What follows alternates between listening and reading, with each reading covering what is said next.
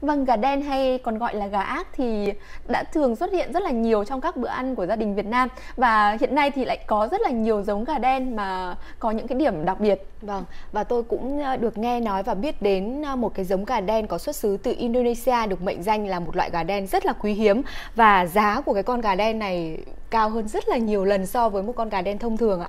À, tôi có nghe nói về cái giống gà đen Indonesia ấy rồi giá có thể lên đến 50 triệu đồng một con đúng không rất chị là Quỳnh cao. Nha? Đúng. Vâng nhưng mà ờ, tôi lại cũng nghe về một cái giống gà khác của gà đen của Trung Quốc ờ, tên là Hắc Phong Ừ. cũng có ngoại hình giống gần giống như là y hệt gà đen của Indonesia với cái giá rẻ hơn chỉ khoảng ừm, rẻ hơn đến mấy chục lần liền. Vâng, Vâng. và hai cái loại gà này thì lại rất là khó có thể phân biệt được với nhau.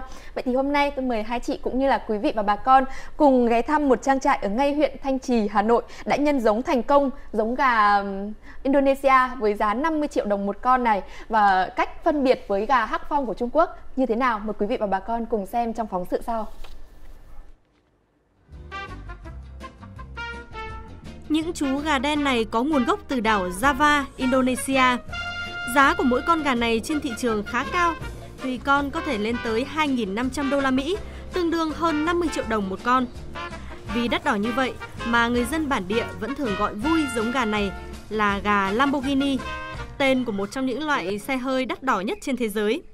Mọi thứ trong cơ thể con gà đen này đều có một màu đen tuyền, từ lông, mào, chân cho đến lưỡi, xương, thịt và cả nội tạng. Đến cả máu cũng có màu thẫm đen hơn bình thường và duy nhất chỉ có trứng của chúng là có màu kem sữa, đặc điểm khác với gà ác của Việt Nam hay một số giống gà đen khác. Tuy vậy, nhiều người muốn mua gà Indo có thể bị nhầm lẫn là giống gà Hắc Phong của Trung Quốc với giá thành rẻ hơn rất nhiều và thường được trà trộn vào các cơ sở cung cấp con giống. Vậy cách đơn giản nhất chúng ta khi chúng ta mua con gà thì chúng ta không thể mổ ra được đúng không? Vậy thì chúng ta sẽ mở cái mồm con gà ra. Gà Indo kể cả khi còn nhỏ thì lưỡi và cống họng cơ bản đều có một màu đen rồi. Vâng, Còn các giống gà khác không có. Đây, chúng ta thể đối chính rất là dễ dàng. vâng. Như gà này thì là lưỡi và cổ họng thì Hơi thâm một chút hoặc là màu hồng màu hồng chút, còn gà Indo thì đã ra màu đen rõ ràng. Vâng. Thì đây là một cái điểm mà rất là dễ phân biệt. Một con gà giống Indo. À, như trên tay tôi đang cầm đây thì có giá vào khoảng là 3 triệu đồng. Nhưng mà giống gà đen của Hắc Phong của Trung Quốc thì chỉ khoảng là 100 ngàn đồng thôi. Cho nên là khi mà bà con các hộ chăn nuôi à, đi mua gà giống thì nhớ lưu ý đến những cái đặc điểm phân biệt mà chúng tôi vừa à, cung cấp cho quý vị và bà con để tránh mua nhầm. Tại Indonesia, giống gà Indo có tên là Semani được người dân địa phương coi như một biểu tượng của sự may mắn. Chỉ được dùng vào những dịp quan trọng như là lễ Tết và chỉ nuôi làm cảnh, chứ ít ai có cơ hội thưởng thức dù giá trị dinh dưỡng cao. Nguyên nhân có lẽ cũng chính vì giá thành khá đắt đỏ của chúng.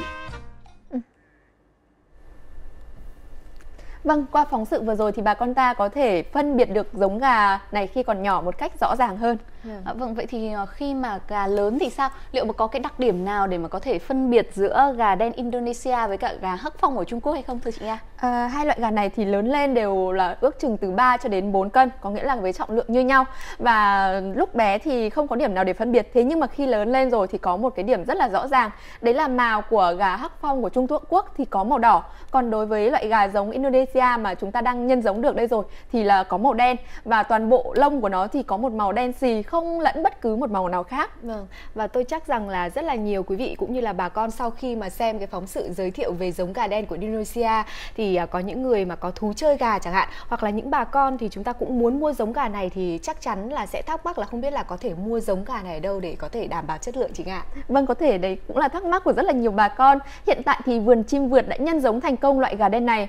Quý vị và bà con nào có nhu cầu tham quan hoặc mua con giống có thể trực tiếp đến trang trại vườn chim Việt ở xã Nhân Thịnh, huyện Lý Nhân, tỉnh Hà Nam hoặc cơ sở 2 ở xã Đông Mỹ, huyện Thanh Trì, Hà Nội hoặc liên hệ qua số điện thoại 0977 774 677.